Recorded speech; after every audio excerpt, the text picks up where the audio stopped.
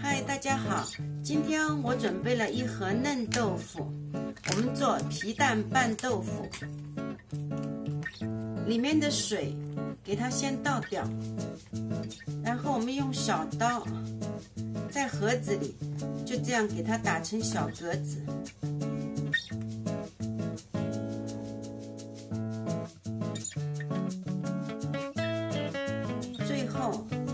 四边给它刮一下，可以倒入盘内，倒进盘内给它沥水先。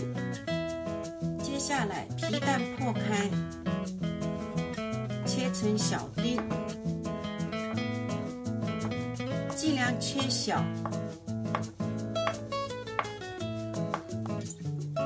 拌豆腐的皮蛋哈，越老越好。准备一点榨菜丝，给它切成细末。这就是拌豆腐的三样主要食材。那这些准备工作做好以后呢，豆腐里也渗出了很多水，我们把这个水分倒掉，然后我们把皮蛋堆上去，榨菜末盖上去，最后撒上一点鲜酱油。不要放糖，做豆腐放糖不好吃。再淋上一点麻油，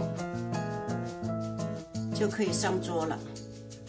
今天这个视频就到这里，我们下次再见，拜拜。